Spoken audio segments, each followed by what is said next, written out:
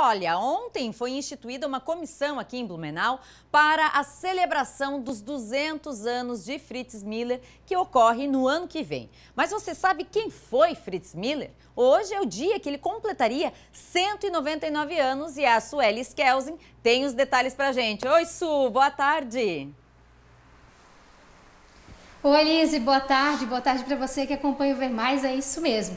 Hoje é o dia de celebração dos 199 anos do Fritz Miller, que é um naturalista alemão de grande importância aqui para Blumenau e região, e que traz, inclusive, ele propagou muito a, a teoria da, da ele propagou muito a teoria da da evolução do Charles Darwin, inclusive tem uma história muito importante para a biologia também, e é por isso que eu converso agora com o biólogo seu José Sommer, que vai contar um pouco para a gente sobre essa importância né, da biologia Boa tarde. Boa tarde.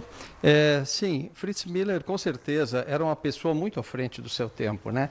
Imagine toda a dificuldade para fazer ciência aqui nessa nossa região. Nós estamos falando de mais de 150 anos atrás, né?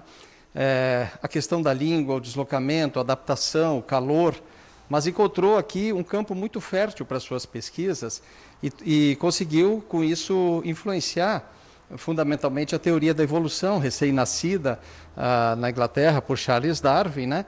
E, e teve contribuições fantásticas para que outros uh, cientistas também pudessem desenvolver as suas pesquisas. Recebia também informações de outras partes e pesquisava sob encomenda para muitos deles e principalmente para Charles Darwin. Né?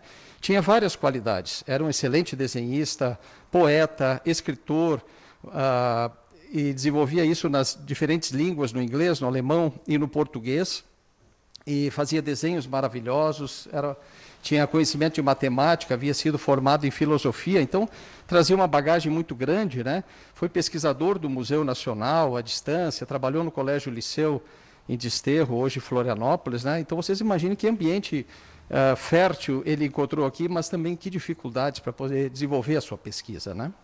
E, inclusive, ontem foi instituída então uma ordem de serviço que institui uma comissão né, para os 200 anos que, fa, que vai fazer no dia 31 também Sim. de março no ano que vem. Como que vai funcionar essa comissão? Qual é o objetivo? Sim, o, os 200 anos do Fritz Miller realmente são um marco muito importante. Nós sempre achamos que ele tem que ser mais reconhecido pela sociedade, pela comunidade científica, pelas instituições de forma geral. Então, marcar os 200 anos, como aconteceu recentemente com os 200 anos de, de Charles Darwin, é muito importante. Foi criada uma comissão no âmbito da prefeitura e de outras instituições que vai de fato, pro, procurar organizar um evento de peso mesmo, com articulação em outra, com outras cidades do estado de Santa Catarina, especialmente Florianópolis, mas também uma articulação internacional que já começa a ser desenhada. Então, uma expectativa muito grande sobre marcarmos realmente com força, daqui a um ano, os 200 anos de Fritz Miller e que o Blumenauense se aproprie realmente dessa figura fantástica né, e tome ele como, que é o nosso patrono do meio ambiente, como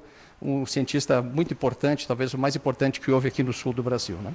E falando sobre o museu, né? Hoje foi o dia da inauguração da reforma do telhado, que estava em manutenção. E é sobre isso que eu converso com a Andrea, que faz parte aqui da assessoria do museu. E Andrea, nessa, na, nesse momento de pandemia, como vai funcionar para quem quer visitar o museu? Como faz?